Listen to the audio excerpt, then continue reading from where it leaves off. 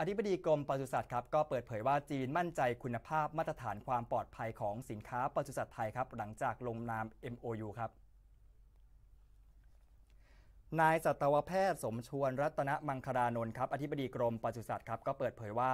กระทรวงเกษตรและสหกรณ์แห่งราชอาณาจักรไทย และสำนักงานศุลกากรแห่งสาธารณรัฐประชาชนจีน ลงนามพิธีสารว่าด้วยหลักเกณฑ์ การตรวจสอบ การกักกันและสุขอนามัยทางสัตวแพทย์ เป็นความตกลงเพื่อแก้ไขพิธีสารครับว่าด้วยหลักเกณฑ์การตรวจสอบการกักกันและสุขอนามัยทางสัตวแพทย์ เพื่อการส่งออกเนื้อสัตว์ปีกแช่แข็ง แล้วก็ชิ้นส่วนสัตว์ปีกไทยไปจีน โดยมีการลงนามเรียบร้อยแล้วครับ ตั้งแต่เมื่อวันที่ 29 มกราคมที่ผ่านมา ส่งผลให้สามารถส่งออกชิ้นส่วน แล้วก็เครื่องในเป็ดได้เพิ่มเติมอีก 18 รายการครับ อย่างเช่นขา ปีก ตับกึ๋นลิ้นและปากเป็นต้น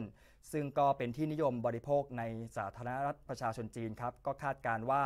มูลค่าการส่งออกชิ้นส่วนนะครับแล้วก็เครื่องในเป็ดเนี่ยเพิ่มเติมนะครับมากกว่า 1,000 ล้านบาทต่อปี สำหรับสาธารณรัฐประชาชนจีนนะครับก็มีความเชื่อมั่นในด้านของคุณภาพ มาตรฐานและความปลอดภัยของสินค้าปศุสัตว์ ภายใต้การกำกับดูแล ระบบการผลิตสินค้าปศุสัตว์ของกรมปศุสัตว์ครับซึ่งพิธีสารฉบับดังกล่าวนี้ไม่มีการลงนามทั้งสองฝ่ายแล้วนะครับก็จะเป็นการขยายตลาดและสร้างรายได้เข้าประเทศ โดยจะส่งผลให้มูลค่าการส่งออกสินค้าผลิตภัณฑ์ปศุสัตว์ของไทยมีการขยายตัวเพิ่มมากขึ้นนั่นเองครับ